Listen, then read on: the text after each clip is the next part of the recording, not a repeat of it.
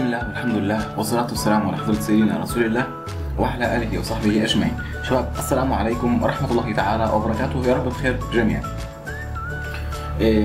اليوم إن شاء الله بسنا راح نتكلم عن تحت العنوان ternary operator وديت بمنتهى البساطة يا جماعة دي عبارة عن طريقة مخت- مختصرة short method لكتابة آه، جملة ال if else statement بتتكون من طبعا من اسمها ternary هي بتتكون من ثلاث أجزاء. بس قبل ما ندخل على شرح الطريقة بتاعتنا إيه، خلونا بس نراجع الطريقة ال- اللي إحنا كنا بنستخدمها علشان نكتب بيها جملة if أنا عندي var A و var B وكتبت if ورحت فاتح قوسين وكتبت ال condition تبعي. هنا بتكتب ال condition وهنا بحدد لما الشرط يكون true يعني لو الشرط اللي أنا كتبته فوق ده هتتحقق دي النتيجة الموجبة.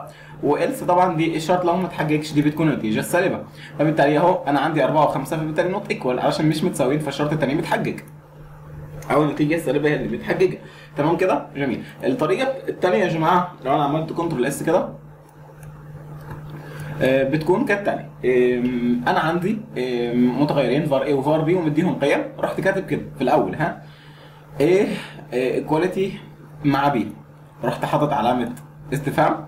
ورحت كاتب document write equal وحاطط colon ورحنا كاتبين document write not equal وانهينا السطر البرمجي بال semicolon ديت يا جماعة ال ternary operator بالراحة كده بتتكون من كام جزء؟ من ثلاث أجزاء أساسيين. الجزء الأولاني بيكتب في أول الجملة بيكون عبارة عن الشرط نفسه. هو هو نفس الشرط اللي كنا نكتبه ما بين القوسين في جملة if العادية مش ال shorthand النقطة الثانية بنروح حاطين علامة ال- الاستفهام. تمام كده؟ بعد منها بشكل مباشر بيكون عبارة عن إيه؟ بيكون عبارة عن ال true الش... إذا كان الشرط بيكون عبارة عن true إيه اللي هيحصل؟ إيه مجموعة الأكواد اللي بتتحط هنا. جميل؟ وبعدين بنفصل ما بين إيه النص الثاني اللي هو في حالة ال false بال colon إيه دي الطريقة إيه الثانية اللي ممكن بيها تكتب آه، أو ال shorthand الطريقة المختصرة لجملة if طبعا هي equal دلوقتي لو أنا غيرت وكتبت خمسة عملت control S فهيقول لي not equal إنها آه، مش شغالة طبعا لأن القيمتين مختلفين. آه، خد بالك وانت بتكتب الطريقة ديت لأن في ناس كتير ربما ما بتكتبش بالطريقة دي وبتكتب بالطريقة العادية.